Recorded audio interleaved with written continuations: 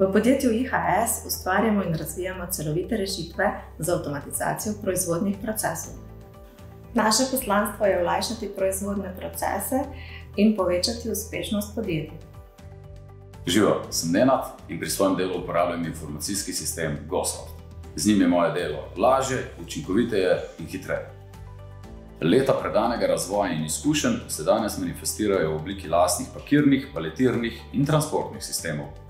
Naša ekipa strokovnjakov zna prisluhniti potrebam kupcev in si na vsakem koraku prizadeva dosegati najviše standarde kakovosti in izpolnjevanje zastavljenih ciljev.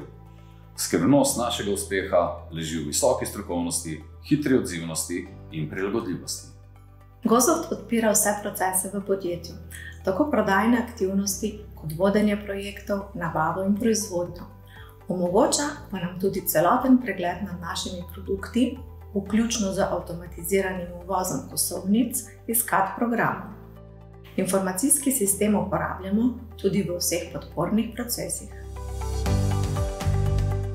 Sistem nam omogoča planiranje kompleksnih kosovnic, vseh vrst artiklov, pomembnih datumov in pa razporejanje kapacitet po delovnih mestih.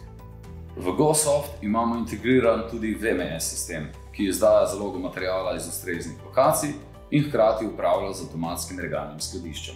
Potek in realizacijo dela spremljamo preko delovnih nalogov. Z digitalizacijo prav vseh delovnih mest v podjetju nam je v vsakem trenutku omogočen celostni pregled nad potekom projektov.